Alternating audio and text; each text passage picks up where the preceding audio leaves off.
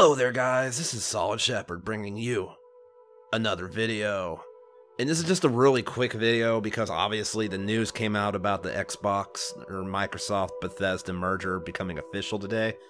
So I want to do a quick little video before I start working on tomorrow's video because you know, this was this wasn't going to be able to wait until tomorrow.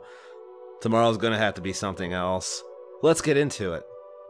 Xbox and Bethesda will talk this week about what the acquisition means. This comes in from GamesBeat. As always, um, my sources are article when we're going over articles will be in the description below. Regulators in the United States and Europe approved Microsoft's acquisition of ZeniMax Media, and that means Bethesda is now an Xbox studio.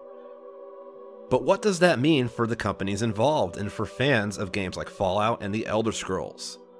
Well, Microsoft is going to start answering those questions with a video presentation on Thursday, March 11th, according to sources familiar with the plans. Microsoft is unlikely to get into the specifics about Bethesda's upcoming projects. Details about the previously announced sci fi role playing adventure Starfield will likely come this summer, so Xbox and Bethesda won't talk about that now. Instead, they will explain what the deal means for Xbox Game Pass subscribers. In particular, a number of Bethesda games should make the leap to Game Pass soon. Microsoft will also use this time to reiterate that any future and contractually eligible game from under the ZeniMax umbrella will hit Game Pass at launch.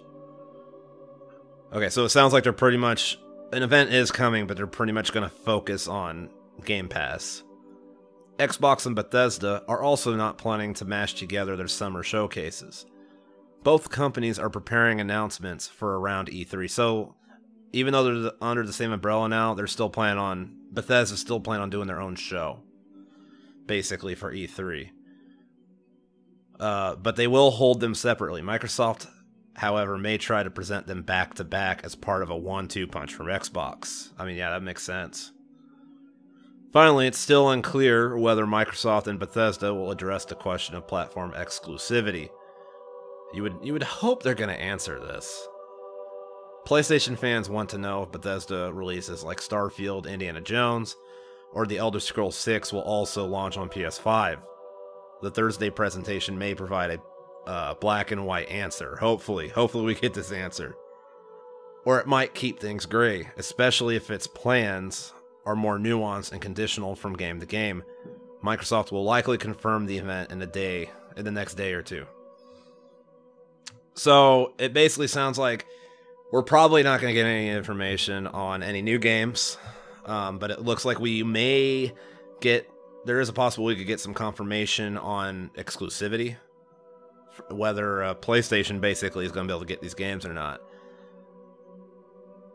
I still think that PlayStation probably will, at least for the established titles, and the whole point of this mainly, especially because it sounds like this they're basically going to focus on this event coming up. This rumored for Thursday will be around Game Pass. I really think Microsoft's more focused on Game Pass so it'll just be like if you're on Xbox, you get to play them for free. Uh, but if you're on PlayStation, we'll still sell it to you on PlayStation. And since it's under Microsoft, that means Microsoft gets that money from the sales. So PlayStation has to give Microsoft money to play the game still, anyways. I could be wrong. It could not go that way. That's just the way I see it happening. That's just my opinion. Nothing more, nothing less.